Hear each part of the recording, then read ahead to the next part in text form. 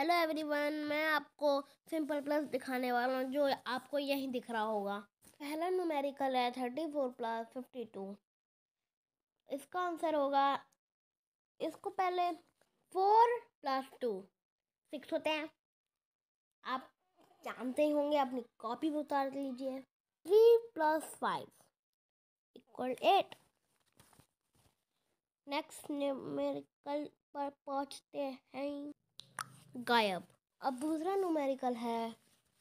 Sorry sixty three plus twenty three पहले हम answer के लिए थ्री प्लस थ्री करेंगे तो सिक्स आता है और सिक्स प्लस टू एट होता है।